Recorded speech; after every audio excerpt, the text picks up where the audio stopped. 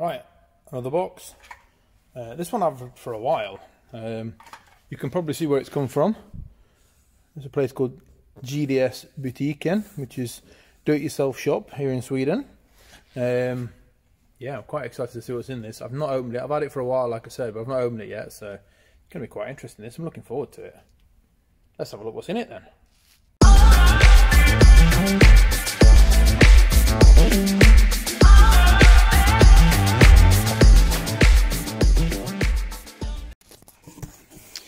Right, the first thing we see in this box is the bigger box I can't get up yet. Some packaging stuff, some bottles, a tub, a little pipe, and a DC power supply. Right, we've got a power supply. What all this lot is for is a plating kit. Right, so this is what we've got in the kit then. We've got the power supply, which is there. Uh, we've got volts at the top, amps at the bottom there. Uh, it goes up to 30 volts and it can go up to, I think it's 5 amps or 10 amps, 5 amps I think it is. There's a nice little powerful unit there. Inside here I've got three 5 litre tubs of the uh, zinc liquid. God knows what it's called in English, but that's what it is anyway. You can see it there. So there's three of them in there. And there's a tube. And then there's this plastic tub here for mixing stuff in. Uh, what I've also bought for it is uh, these small, slightly smaller tubs here. Um, and basically if I want to just do, let's say just this bolt, I don't want to fill all of that up with nearly 15 litres of liquid. I can just use this one, it's about three or four litres this one is, so it's a bit easier to use, a bit, bit easier to handle. So I bought one of them. Uh, I've also bought a bucket, so it's a little tiny bucket, it's quite cute. Uh, afterwards, when everything's been done with the zinc, I can just rinse it off in a bucket uh, of water there. So I've got that little bucket. So I bought those to it as well. Right. Oh, we've got the tube as well. Right, in this, we've got some cables. Uh, quite simple kit, really. We've got a red one with a zinc ball attached to it, and we've got two black ones with a black cable attached to it. So let's put this all together and I'll show you how it works. Right, so it's dead simple to set up. The black wire goes in the black hole. The red wire goes in the red hole. Not more difficult than that. The other end of the red wire then is attached to the zinc ball, which is now dipped in the water. The black cables are then attached to these two earthing rods, uh, and I've put one straight across the top of the tub there. Uh, and then we've got some bits here. I took an old wheel nut here from a, it's an old Focus, that one. Uh, and I've got a selection of bolts here. These three here are the ones that hold the cover to the uh, wiper wiper motor for Alice. And these are the ones that hold the wiper motor bracket to the car. Uh, and all we've done with them is we took a wire brush to them and cleaned them up, made them all nice and shiny so that the zinc will sit better on it and we've done the same thing as best we can with this wheel nut. We're never going to get rid of all the dints and marks and things like that in it but we've got rid of a lot of the rust and things like that. So what needs to happen now is the copper wire coming out of each one of them needs to be in contact with this so basically I'll hang them from the copper wire uh, and then we can turn the power on and see what happens. Let's crack on. Right, so that's all the all the bolts hanging in the water there. The copper wire, as you can see, is hanging around the threaded bar there, and the wheel nut is down there as well, hanging on the copper wire. Uh, we need to make sure that nothing touches the zinc ball, which it isn't at the moment, so that's good. Uh, all we need to do now then, turn the power on. Now at the moment it's set to 2 amps, which is quite high. Uh, I need to turn the amps down. And we're going to go for probably about 1.3 amps at the moment. Uh, what we don't want to see is what's happening with that bolt right there at the moment. There's a lot of crap coming off of it at the moment, so it's bubbling quite hard. Uh, I think that that is basically it just reacting. So we're going to turn the amps down a little bit about 1.1 amps, something like that. See if it stops bubbling.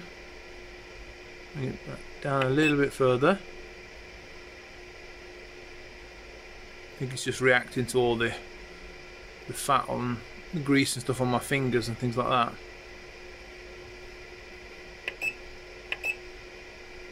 Bring it down a bit there. I'll come up a little bit. So we're probably about half an amp there now. There, now it's stopped bubbling. Or stopping bubbling. It's slowing down the bubbling now. We are at 0.6 of an amp there. So, these now need about half an hour, I would say. Something like that. In the water just to cook a bit. So, we'll come back in a bit, in about half an hour. Right, while those parts are in the bath, we're going to take some metal parts like this radiator fan casing. Uh, we're going to put them in the blaster, get rid of all the paint and all the rust and all that sort of shit. And uh, we're going to make them all look nice and clean. So, quick coat of paint and uh, we'll see how they turn out.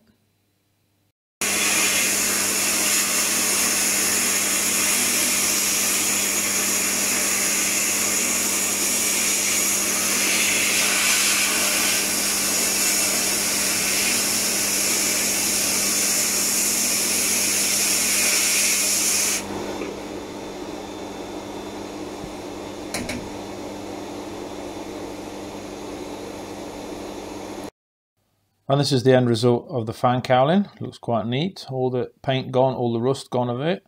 Um, looks quite a little shiny there with the where it's been blasted. So it looks quite nice. Let's have a look at the other parts and see how they turned out. Alright, that's the finished result of that plate there now. So, quick coat of primer and some black paint on that. And it's going to look beautiful again. And this is the end result of the cowling. Um, it's just a rattle can job. It had a red oxide primer put on first, and then this shiny black uh, satin paint put on the top of that. And I think it looks quite nice actually. Turned out quite well. Right, I put everything in about 20 minutes and it's about two and a half minutes left on it at the moment. These bolt bolts here that are looking really close here, they've definitely got a shine on them. And that one over there, it's a bit hard to take photos of it now while they're in the water, but those ones have definitely got a shine on them. The the wheel bolt there, the ring on it the is definitely getting shinier. The rest of it, I think, is just the rust kind of bubbling away on it. Uh, it's really hard to photo it while it's in the water. Uh, so yeah, we'll give it another couple of minutes and we'll take them out and we'll have a look at them. If it needs a bit longer, I can chuck them back in again and we'll cook them for a bit longer. Right, time's up. So there we go. I think we can get them in the light here, probably. I'm not sure. Hopefully, but they definitely look a whole lot shinier than what they did when they went in there. They look really, really nice. They do. I love the way it's shiny. All nice and shiny that bolt is. I'll try and get in cover, but that looks amazing. They really do look nice and shiny and clean. So we'll just dip them in the water just to get rid of all the, the liquid that's on them. And we'll leave them there to dry for a few minutes. And we're going to have a look at this bolt. I'm not this nut. I'm not quite sure how this is going to go, and I probably think it's not going to be as nice as those other bolts, and that's basically because it doesn't look as nice to start with.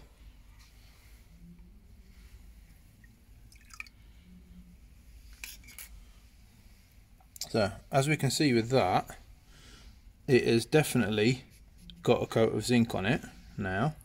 What it hasn't got is here, that's probably the rust there that was still stuck underneath it. Um, so where the rust was, it's not turned out very nice. But the collar here, that's definitely got a nice shine to it because that we could get really, really nice and clean there. Uh, everything else, this side was really nice and clean on this and that side of it. The rest of it was, oh there's another one. All nice and shiny here, but the rest of it is, there's a bit too much rust on it to get a nice finish out of it. So we'll give that one a quick dip as well in the water just to neutralise it. Uh, but I don't think that bolt is going to get any better than what it is, apart from here where it looks really, really nice, really, really smooth. Um, so I'm quite happy with the, the finish on that bolt, but that's basically because of how it started out. These bolts, these we got really nice and clean on the tops of the heads and stuff, so these came out really, really nice. They came out wonderful. Really, really happy with these bolts. So, we're going to put some more stuff in the water and uh, leave them there for a bit longer and we'll see what happens with that. I bet you're all wondering what it looks like now.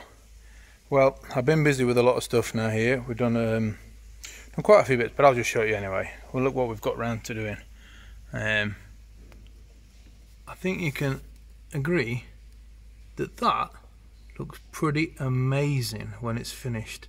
It looks absolutely brand new, that lock mechanism.